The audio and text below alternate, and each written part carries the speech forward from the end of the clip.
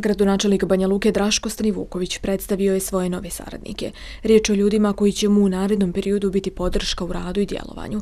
Kako navodi njegovom timu, bilo je potrebno pojačanje. Imali smo jedno strateško važno planiranje koje je bilo u Tesliću, gdje smo e, zajedno sa načelnicima, potpisnicima, sa kabinetom razgovarali o e, narednim našim ciljevima koje smo postavili kako u ovoj drugoj polovini godine, tako za narednu godinu. E, I moj stav i mog tima i naše kabineta jeste da nam je potrebno dodatno pojačanje zbog određenih promjena dalje koje želimo da činimo i da radimo i zbog toga sa ponosom mogu da predstavim ove ljude koji su pored mene.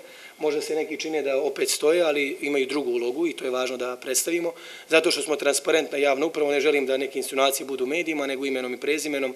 Svakog predstavimo što je tu, šta radi, šta mu je posao i naravno da će opravdati potpuno e, svoje učešće u budućem radu gradske uprave i kabineta gradonačelnika.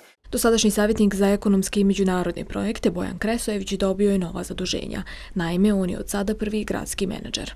Ja ću svojom energijom da se potrudim da ubrzamo i učinimo efikasnu gradsku upravu i da veliki broj projekata koji smo do sada već osmislili, a na strateškom planiranju napravili smo listu od 40 projekata, preuzeću odgovornost da ti projekti budu realizovani u teoretski najkraćem roku, naravno, e, s obzirom da imamo vrlo težak zadatak kada su u pitanju brojni, da kažem, obstrukcije na koje nailazimo, To je dodatni izazov, ali evo u ovom prethodnom periodu smo pokazali da nam to e, ni na koji način e, ne, ne ukazuje da, da ćemo stati.